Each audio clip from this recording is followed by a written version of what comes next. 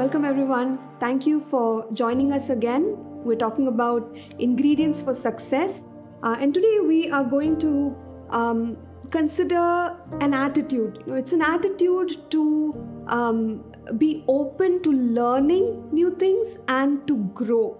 Uh, there's a wonderful scripture from Ecclesiastes chapter 10.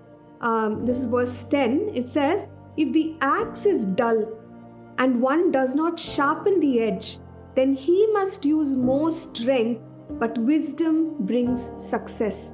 Now, how true.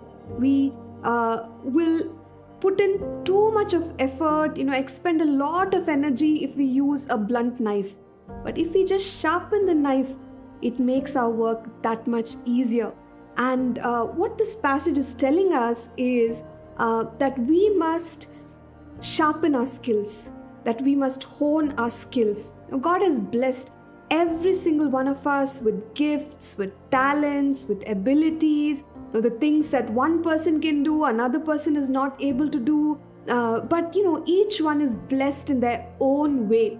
Now, thank God for the blessings that He has given us, but we are the stewards of the grace of God. We are the stewards of the gift that God has given us. And uh, it is our responsibility to keep getting better at it, you know, whatever that is. You know, maybe uh, some of us are good uh, in uh, language. Some of us might be good in music. Some of us might be really good in the area of arts. But we have to keep getting better.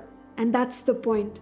An attitude where we're willing to learn and keep growing, that's the attitude that will take us really far.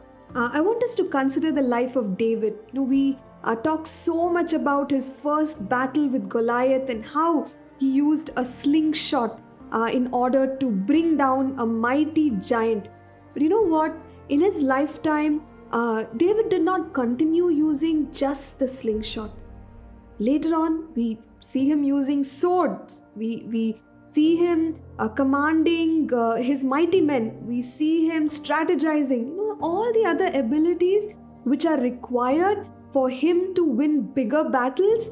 Thankfully, you know, David grew into those things uh, and we as um, you know as professionals and um, even in the in in church in various things concerning our lives you know we can keep growing and we must not remain in the same place um, and we also see that god is somebody who anoints people with skill and he wants us to be um, sharp and excellent in our skill in fact uh, in the book of Exodus, the people who were working on the house of God, we read that God um, gave skillful men, skillful craftsmen, you know, skillful men who could work in the field of art. So God really wants us to become sharper uh, with what He has given us. So, can we do that? Can we just have that open heart to say, I want to get better. I want to learn something new. Uh, I don't want to be doing things the same way that I was doing yesterday,